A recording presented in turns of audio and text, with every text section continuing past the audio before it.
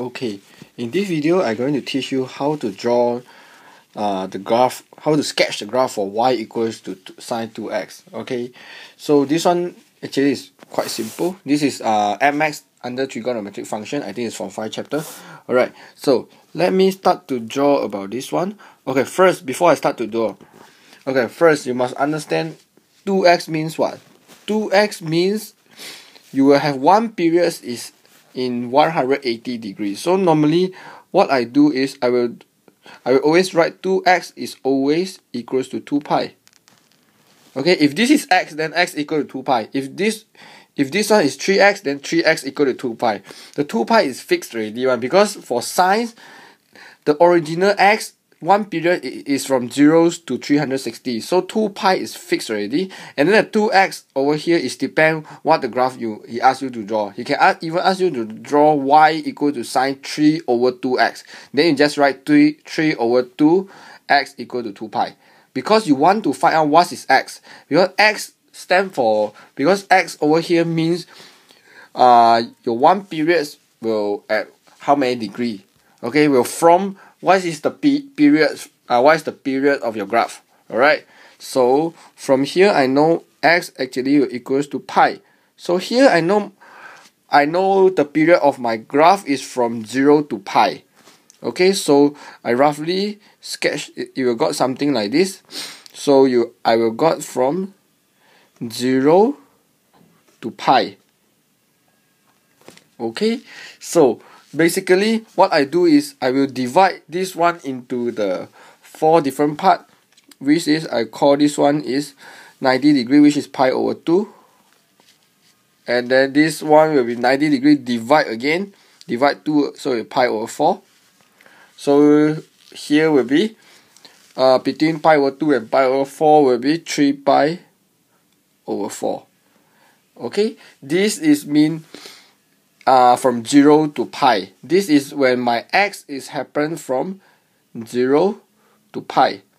However, in this question, he actually asked me to draw y, uh, y equal to sine x from 0 to 2 pi. So I know 2 pi means I have to continue this one uh, to 2 pi. Means I need to continue this one into 2 pi. This is the meaning when I got uh, 2x okay so you can see actually my graph actually I will have two cycle. This one I uh, like this I call one cycle or some book they say one period. Okay so you got another period. Alright so this is the meaning for you got 2x mean you will have two period in 2 pi. Okay if you got 3x mean actually you have three periods in 2 pi.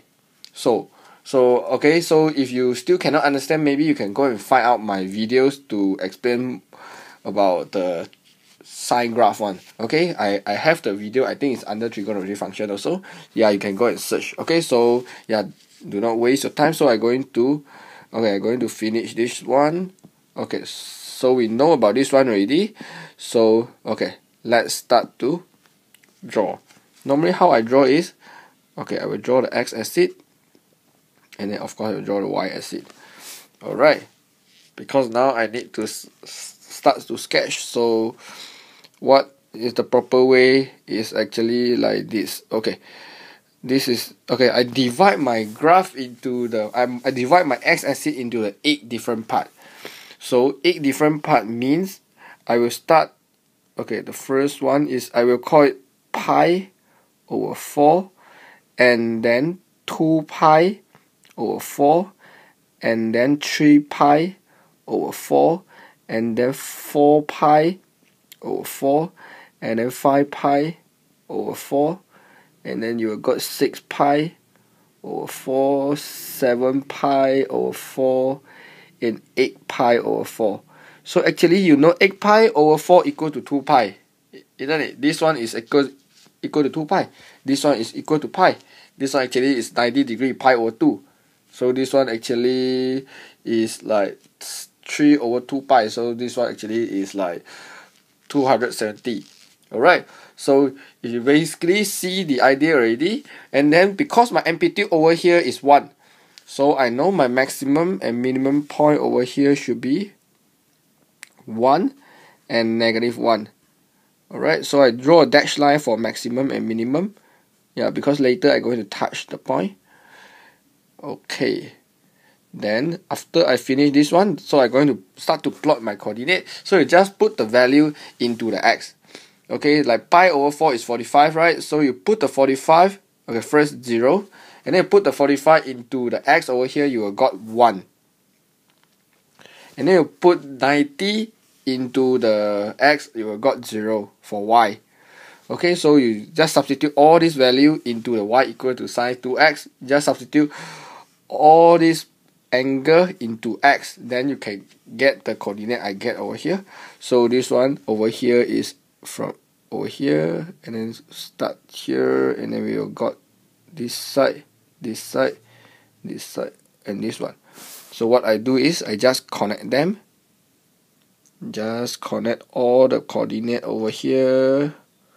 Then I can get the graph for after you're done this graph we call it y equals to sine 2x alright so basically what I suggested student to write the unit especially in radian because a lot of students have the difficulties to like convert degree to radian. If this one asks you to write 45 degree very easy for you. You can write 45 90 135 180 and then 225 continue. But then if write in the pi some student is like finds very difficult to convert it to the pi. So what I suggest suggested here is you start from the pi over 4 and then you can see actually this is 1 pi over 4 2 pi over 4 3 pi over 4 so actually here I increase from 1 to 8 1 2 3 4 5 6 7 8 so bottom is just over 4 uh, you write like this will be easy for you to to sketch the graph actually in MX actually he, most of the time he'll ask you to sketch the graph in radian so yeah you have to practice how to